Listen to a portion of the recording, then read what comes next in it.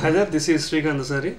So in this lesson, we are going to uh, introduce ourselves to uh, C programming on uh, Turbo C IDE. Okay. So first, let me launch the IDE here. So this is the basic interface of uh, Turbo uh, C IDE. To be more specific, uh, it is a Turbo C++ here we are using. Okay. So if you want to know the uh, version details of your IDE you are using, so IDE is nothing but the place where uh, uh, the programmer uh, writes his code and compiles and links and executes the program. Okay, so the full form of IDE is given as Integrated Development IDE. Okay, so if you want to know the version, current version of the IDE you are using, uh, you have to select uh, from the menu Help and uh, About option here. Okay, so this gives you the details of the version and the name and the year it has been designed and everything here okay? So it is turbo c++ version 3.0 and it's designed in early 90s uh, which is very ancient version okay? So still uh, many universities and affiliated colleges in at least in our country are still using uh, turbo c++ for some reasons uh, to teach the students uh, basics of uh, c programming okay so the IDE should not matter uh, when you are uh, writing programs or learning uh, how to write programs. So you need to be more specific with the programming constructs. Okay. So whatever the ID uh, you are using, so whether you are using the older and older versions of Turbo C or more advanced versions of uh, Borland uh, C++ compilers or Visual Studio, Eclipse, there are lots of choices for a programmer or a student uh, to write his code. Okay. So some students also uh, develop the programs in Unix environment in uh, text editors like uh, Emacs and VI editors, or else some just prefer to write uh, in a DOS prompt editors which were designed in DOS prompt and tend to compile their programs on command prompt. Okay, so about that we will look in in a short moment. We will look about that also. Okay, so first we have uh, the basic interface of our Turbo C IDE here. Okay? So it consists of just a file with no name.cpp here. So first always a good practice is to save the program. So such such that uh, so whatever uh, you, you write the program is saved in your disk of your uh, computer. So first in order to save a program you need to select file save or else you can simply do uh, f2 okay?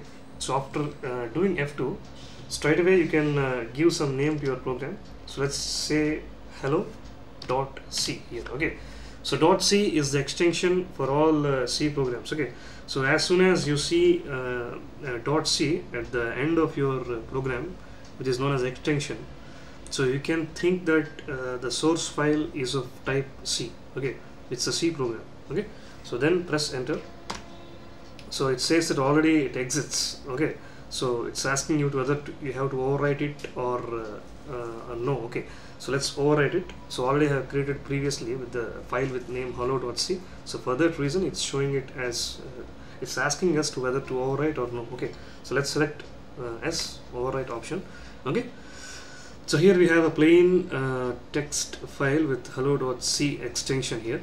So first every c program uh, begins with a header file okay. So first let me type the header file here. So header file is going to be like this. Hash include stdio.h there are a couple of header files which are very essential for every C program. One is stdio.h and the other one is conio.h here okay. So the header file is the one which starts with a pound or hash symbol. It contains an include uh, keyword and then the name of the header file here okay.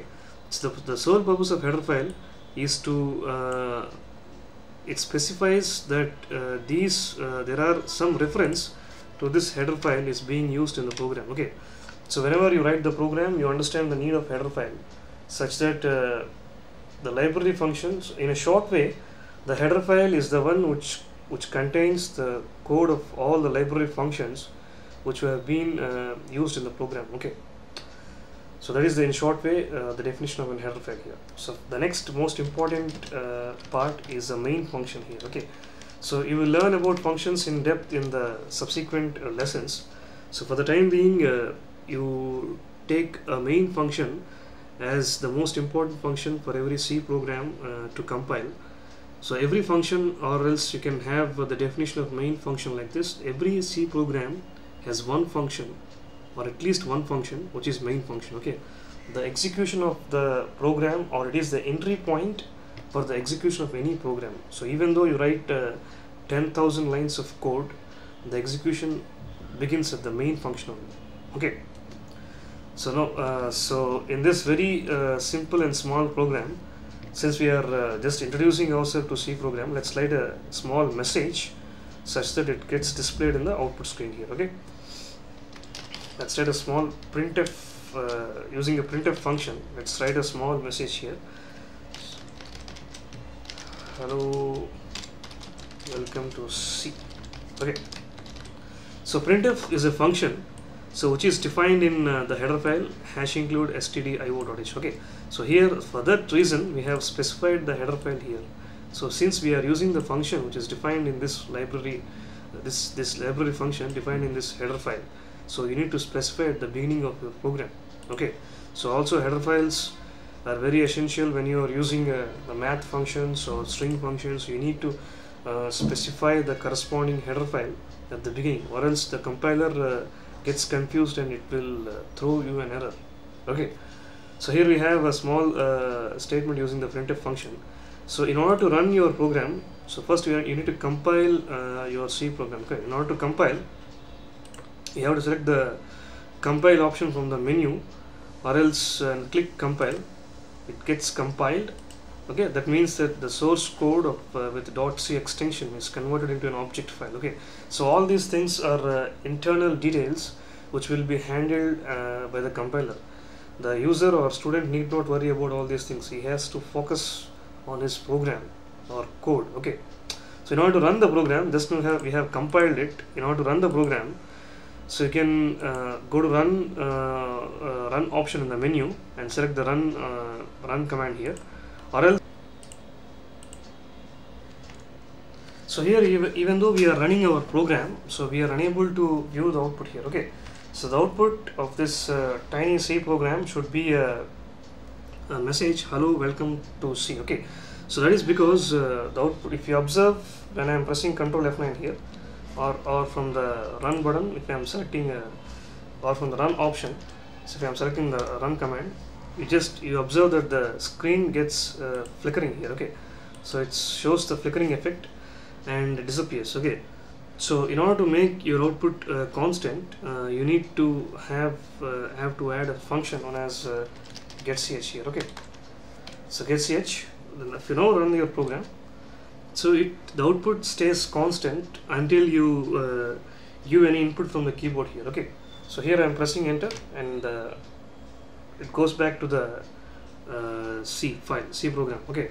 So here the getch if you don't have getch okay if you don't have getch in the program the only way to look into your program uh, is by selecting the alt and F5 here okay so in that way also you can see your output but the good programming practice is to have the getch function which is nothing but a get character function. So which is used to retrieve a character from the uh, keyboard or character input from the keyboard.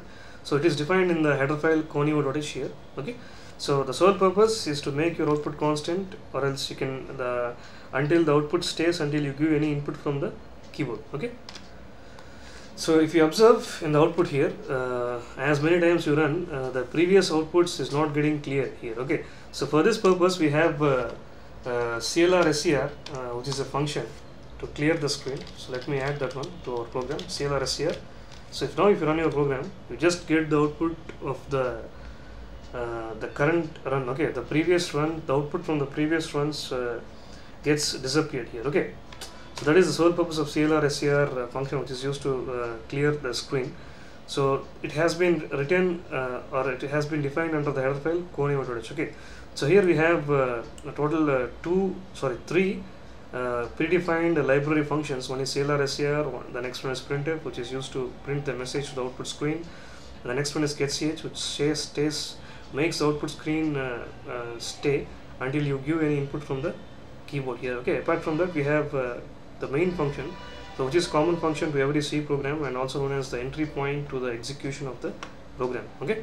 So this is the basic stuff about uh, a simple C program in Turbo C uh, IDE so see you in the next lesson. Goodbye